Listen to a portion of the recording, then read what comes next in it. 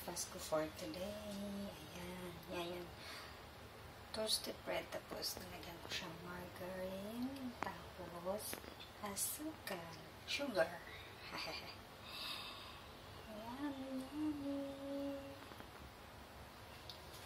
Favorite ko talaga yan. Lalo na pag mainit pa yung tinapay.